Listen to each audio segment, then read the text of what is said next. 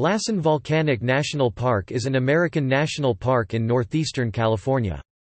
The dominant feature of the park is Lassen Peak, the largest plug dome volcano in the world and the southernmost volcano in the Cascade Range. Lassen Volcanic National Park started as two separate national monuments designated by President Theodore Roosevelt in 1907, Cinder Cone National Monument and Lassen Peak National Monument. The source of heat for the volcanism in the Lassen area is subduction of the Gorda Plate diving below the North American Plate off the northern California coast. The area surrounding Lassen Peak is still active with boiling mud pots, fumaroles, and hot springs. Lassen Volcanic National Park is one of the few areas in the world where all four types of volcano can be found plug dome, shield, cinder cone, and stratovolcano. The park is accessible via State Routes 89 and 44. State Route 89 passes north-south through the park, beginning at SR 36 to the south and ending at State Route 44 to the north. State Route 89 passes immediately adjacent to the base of Lassen Peak. There are five vehicle entrances to the park, the north and south entrances on State Route 89, and unpaved roads entering at Drakesbad and Juniper Lake in the south, and at Butte Lake in the northeast. The park can also be accessed by trails leading in from the Caribou Wilderness to the east, as well as the Pacific Crest Trail, and two smaller trails leading in from Willow Lake and Little Willow Lake to the south. The Lassen Chalet, a large lodge with concession facilities, was located near the southwest entrance, but was demolished in 2005. A new full-service visitor center in the same location opened to the public in 2008.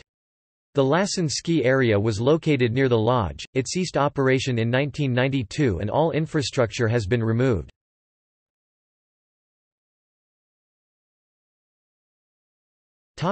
History Native Americans have inhabited the area since long before white settlers first saw Lassen.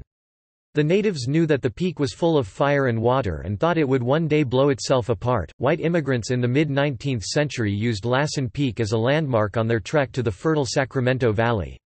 One of the guides to these immigrants was a Danish blacksmith named Peter Lassen, who settled in Northern California in the 1830s. Lassen Peak was named after him. Noble's Emigrant Trail was later cut through the park area and past Cinder Cone and the fantastic lava beds. Inconsistent newspaper accounts reported by witnesses from 1850 to 1851 described seeing fire thrown to a terrible height and burning lava running down the sides in the area of Cinder Cone. As late as 1859, a witness reported seeing fire in the sky from a distance, attributing it to an eruption. Early geologists and volcanologists who studied the cinder cone concluded the last eruption occurred between 1675 and 1700. After the 1980 eruption of Mount St. Helens, the United States Geological Survey USGS began reassessing the potential risk of other active volcanic areas in the Cascade Range. Further study of cinder cone estimated the last eruption occurred between 1630 and 1670. Recent tree ring analysis has placed the date at 1666. The Lassen area was first protected by being designated as the Lassen Peak Forest Preserve. Lassen Peak and Cinder Cone were later declared as U.S. national monuments in May 1907 by President Theodore Roosevelt. Starting in May 1914 and lasting until 1921, a series of minor to major eruptions occurred on Lassen. These events created a new crater, and released lava and a great deal of ash. Fortunately, because of warnings, no one was killed, but several houses along area creeks were destroyed. Because of the eruptive activity, which continued through 1917, and the area's stark volcanic beauty, Lassen Peak, Cinder Cone and the area surrounding were declared a national park on August 9, 1916. The 29-mile (47 kilometers) main park road was constructed between 1925 and 1931, just 10 years after Lassen Peak erupted. Near Lassen Peak the road reaches 8,512 feet 2,594 meters, making it the highest road in the Cascade Mountains. It is not unusual for 40 feet 12 meters of snow to accumulate on the road near Lake Helen and for patches of snow to last into July. In October 1972, a portion of the park was designated as Lassen Volcanic Wilderness by the U.S. Congress Public Law 92-511. The National Park Service seeks to manage the wilderness in keeping with the Wilderness Act of 1964, with minimal developed facilities, signage, and trails. The Management Plan of 2003 adds that, "...the wilderness experience offers a moderate to high degree of challenge and adventure." In 1974, the National Park Service took the advice of the USGS and closed the visitor center and accommodations at Manzanita Lake. The survey stated that these buildings would be in the way of a rockslide from Chaos Crags if an earthquake or eruption occurred in the area. An aging seismograph station remains. However, a campground, store, and museum dedicated to Benjamin F. Loomis stands near Manzanita Lake, welcoming visitors who enter the park from the northwest entrance. After the Mount St. Helens eruption, the USGS intensified its monitoring of active and potentially active volcanoes in the Cascade Range. Monitoring of the Lassen area includes periodic measurements of ground deformation and volcanic gas emissions and continuous transmission of data from a local network of nine seismometers to USGS offices in Menlo Park, California. Should indications of a significant increase in volcanic activity be detected, the USGS will immediately deploy scientists and specially designed portable monitoring instruments to evaluate the threat. In addition, the National Park Service (NPS) has developed an emergency response plan that would be activated to protect the public in the event of an impending eruption. The NPS tracks visitors by counting vehicles entering the park via in-road inductive loops at all vehicle entrances. Buses and other non-reportable vehicles are subtracted from the vehicle count, which is then multiplied by 3, an estimate of the number of visitors per vehicle.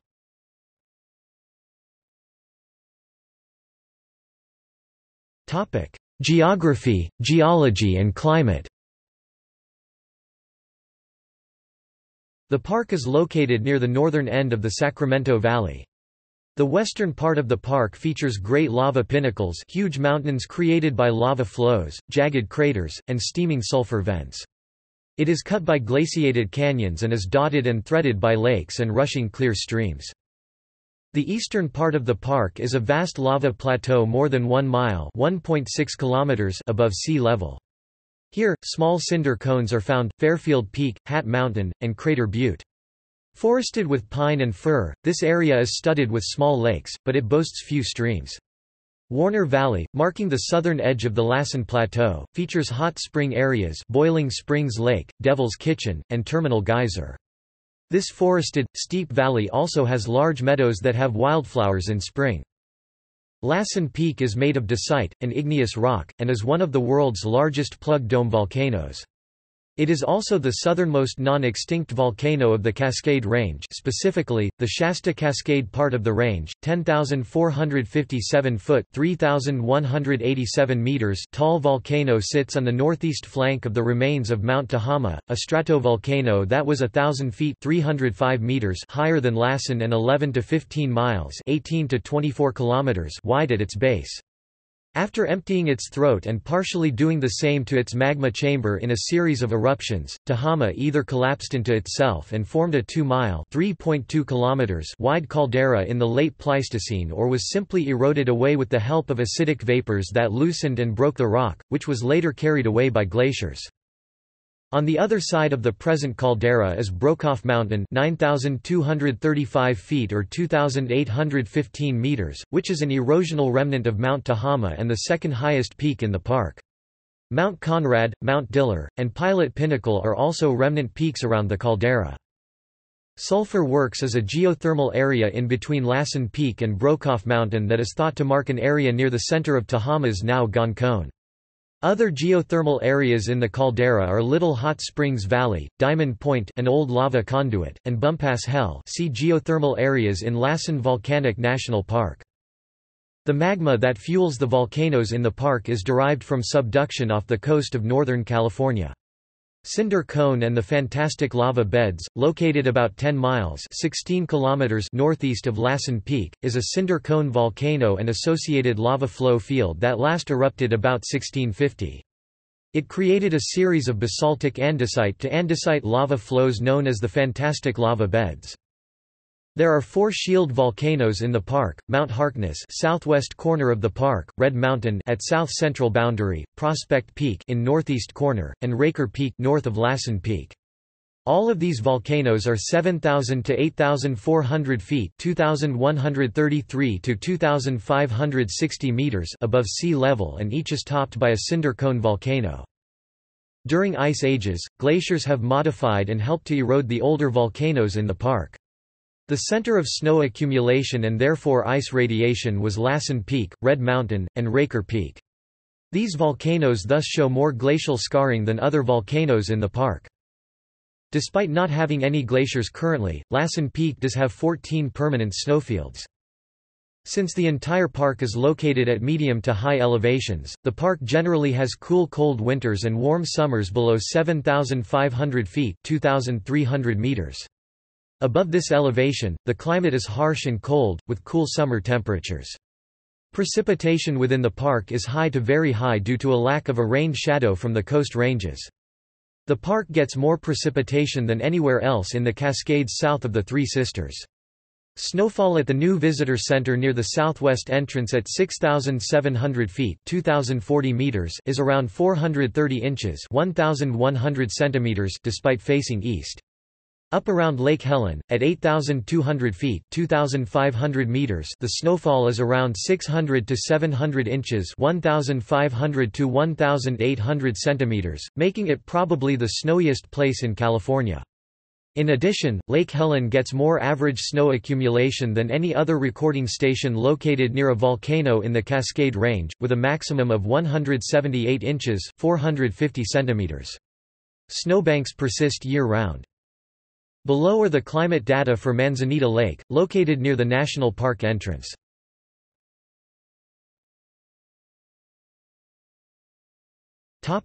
Plants Lying at the northern end of the Sierra Nevada forests ecoregion, Lassen Volcanic National Park preserves a landscape nearly as it existed before Euro-American settlement. Its 27,130 acres (10,980 hectares) of old growth include all of its major forest types. At elevations below 6,500 feet, the dominant vegetation community is the mixed conifer forest. Ponderosa and Jeffrey pines, sugar pine, and white fir form the forest canopy for this rich community that also includes species of manzanita, gooseberry, and ceanothus. Common wildflowers include iris, spotted coralroot, pyrola, violets, and lupin. Above the mixed conifer forest is the major community of the red fir forest. Between elevations of 6,500 and 8,000 feet, red fir, western white pine, mountain hemlock, and lodgepole pine dominate a community less diverse than the mixed conifer forest. Common plants include satin lupine, woolly mule's ears and pinemat manzanita. Subalpine areas include the upper limit for the growth of standing trees. From 8,000 feet to treeline, plants are fewer in overall number with exposed patches of bare ground providing a harsh environment. Rock spirea, lupin, Indian paintbrush, and penstemon are a few of the rugged members of this community. Trees in this community include whitebark pine and mountain hemlock.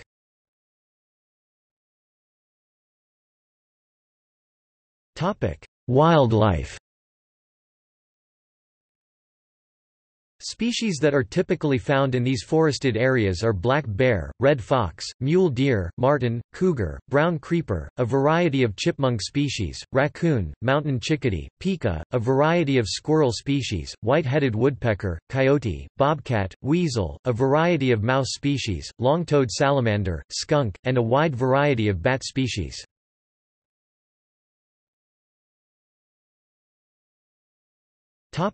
Geology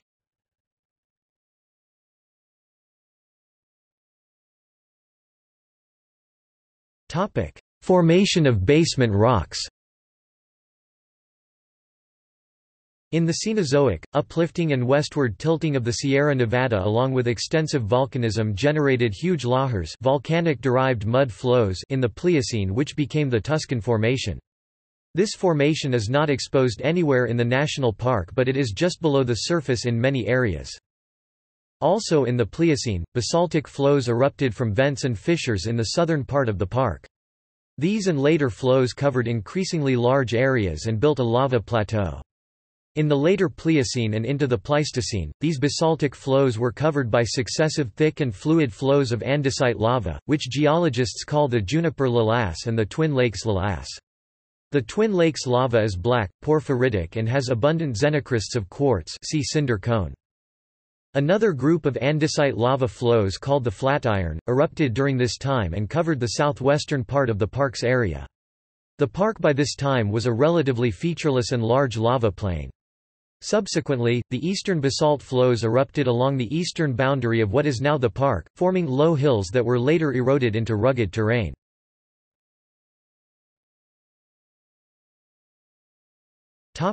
Volcanoes rise Pyroclastic eruptions then started to pile tephra into cones in the northern area of the park.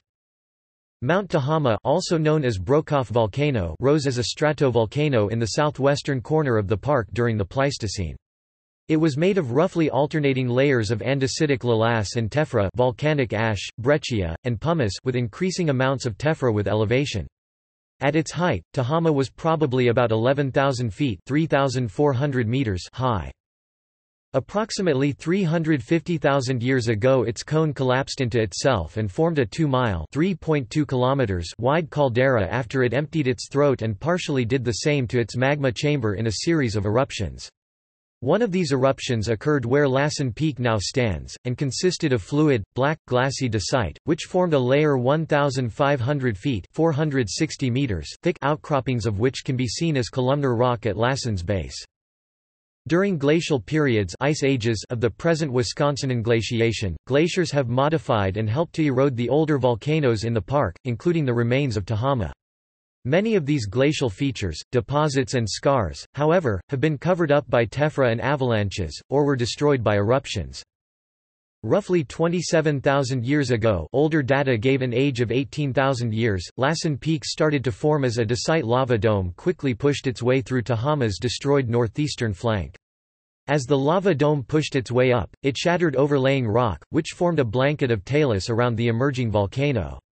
Lassen rose and reached its present height in a relatively short time, probably in as little as a few years. Lassen Peak has also been partially eroded by Ice Age glaciers, at least one of which extended as much as 7 miles 11 kilometers from the volcano itself. Since then, smaller dacite domes formed around Lassen. The largest of these, Chaos Crags, is just north of Lassen Peak. Phreatic steam explosion eruptions, dacite and andesite lava flows and cinder cone formation have persisted into modern times. There are active hot springs and mud pots in the Lassen area. Some of these springs are the site of occurrence of certain extremophile microorganisms, that are capable of surviving in extremely hot environments.